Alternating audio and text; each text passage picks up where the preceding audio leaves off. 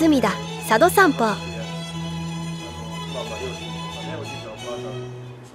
とってもピュアでとってもそういうその肉体的にも精神的にもすごくやっぱり強い2020年に設置された情報経営イノベーション専門職大学 IU は墨田区文化に本部を置く私立専門職大学です産業界と連携し世の中にイノベーションを起こす人材育成を目指しています。こんにちは。はじめまして佐渡です。ようこそお越しくださいました。IU の学長の中村一也と申します。よろしくお願いします。学生ですよろしくお願いします。よろしくお願いします。よろしくお願いいたします。茂木はい。です。お願いいたします。絶好の散歩日和で。はい。綺麗な新しい学校なんですか？この学校できたのが2020年の4月ですので2年経ちまして、はい、えー、もうすぐ3年目。1学年が230人いますので、うん、まあ、これ4年でできたら大体全部で1000人になる大学なんですね。東京23区で墨田区だけ大学がなかったもんですからあそうなんですか、えー、とっても新しい大学ででここが私たちのキャンパスで、うん、ここの芝生も塀がないんですよ。あそうですね、え外のね。地域に開かれた今ちょっと子供遊びに来てますけど、えー、あんな感じなんですよ。だからこう大学の敷地なんですけども、え。ー、まあみんなで使っている。みんなで作る大学と思っていまして。あの大学としてはデジタル今流行りの ICT とビジネスと英語で基礎的な力をつけてでどんどん外に出ていきましょうと。彼はもうすぐインターンに行くそうですねはいあの学生全員が半年ぐらい外に出て、はい、インターンに行く、はい、でそのインターン先が、はい、自分は新日本フィルハーモニーさんあ、はい、そうなんですか、新日本フィルのインターンに行くんです。だから企業だけじゃなくてそういういろんな社会活動のところにもインターン行ってそこで学んでで世間からボコボコにされて帰ってきて で4年生で全員が起業するんです。全員これ企業全員起業って世界で初めてのはずなんですけど。全員が一回そこでえー、ビジネスを作って全員が企業に成功しますと就職率がゼロになります。目標就職率ゼロの大学で。起業してるんですよ。はいもうすでに。あそうなの？そうです。はい。自分はあのまさに今皆さんいるような映像の会社さんを立ち上げさせていただきました起業家でもあります。はい。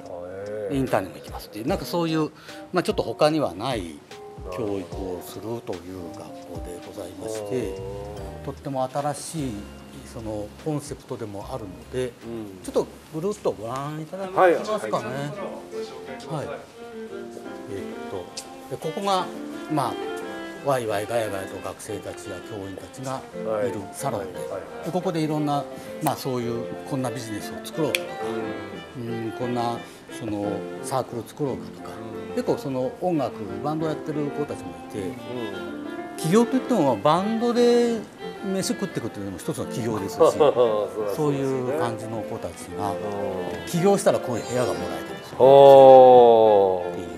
そこにいろんな大人ビジネスの方々ですとか、えー、っと資本家とかが来て一緒に作っていくっていうやり方をとっています。だからこう有望な会社を作る人には大学からもお金出してるんですここにいろんなそういう投資家や起業家も学生たちが集めて、うん、でプレゼンテーションをして、えー、でよかったら出資を募るっていうことも結構しょっちゅうやってますね。それこそ隅田の方々隅田の金融機関の方とか市役所の方にもよくここお越しいただいてますしそれを、まあ、新日本フィルのような社会的な活動のところで今ちょっとこれ授業やってますね。でこんな感じでこう授業やってたりしてます今これオンラインで授業やってるんですけどもコロナの中でオンラインで授業をやったり、でもまあ事情が許せばみんな集まってきてオフラインでやったりっていうことも続けています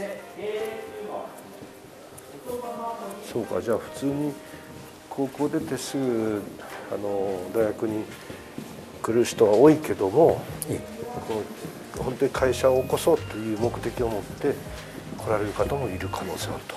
あの社会人だったけれどももう一回起業しようと思って来たっていう人もいればそ,、れから大学他の大学行ってたんだけど、うん。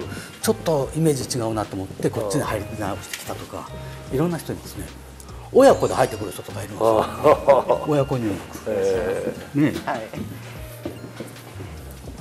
ここはあのプレゼンテーションルームなんですがど。そういうこう思いを持った学生とかがここに立って起業家が集まってプレゼンをするとか。ガジェタンカもやった？あやりました。はい。ねっていうととそれこそいろんな人が来て例えば、えっと、お笑い芸人がこう来てでワークショップやったりしてそれを YouTube の番組にしたりしてます。まあ、いろんなこれまであんまり日本の大学がやってこなかったような遊び場ってんですよね。っていうふうになっていけばいいかなと思いますし。いざのここできるだけ真っ白にしてくださいって言って作ったんですよ。今何もなくてこれ全部アーティストに壁画かなんかで埋めてってもらえないかなと学校全部を美術館にするとかですね。うん。そんなこともできたらなっていう。あのみんないろんなこんなことが学校でできたらなっていう思いを持ってる人たちが多いので、うん。それを一個一個実現できるようにすればいいかなって思っています。今コロナでやっぱり難しいでしょうけど部活とかはどうなんですか？部活結構やってるよね。そうですね。サークルが多いです。ああサークルが、はいバンドサークル。20年にでもできたってことは今3年生はいないってこと、そうですね。ってはいことだね。先輩がいないですね。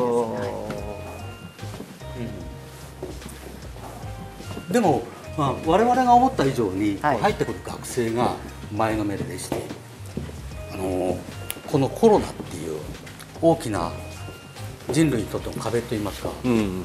試練をうん。チャンスと見ている子が多い、あその世の中が大きく動くタイミングであるから、うん。何かできるはずだと、ええ。そういう人たちがまあ次を作っていくのかな、期ん。待をしていまして、ぜひあの佐尾さんにも何かこうここをお使いいただけるようなはい。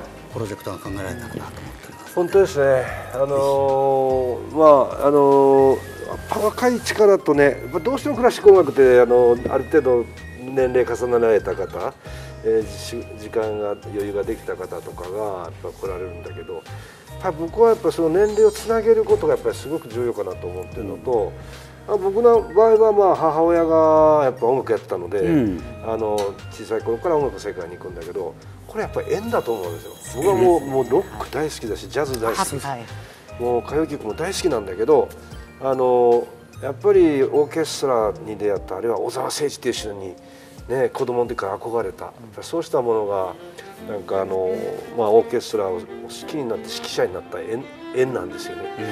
であの本当にクラシックって面白いから オーケストラってやっぱすごい面白いからぜひここのね学校の人たち、ね、生徒さんたちにぜひその面白さを語らせてきて着させてください。お願いいたぜひよろしくお願いします。だから学生券もなんかあってすごく安い値段であの月に1000円で新日本フィルを見られるってちょっと破格だと思いますね。本当大丈夫？新日本みたいな。なのでぜひ活用していただいて。はい、よはい。ろしくお願いします。ます。ありがとうございます。ありがとうございました。ありがとうございました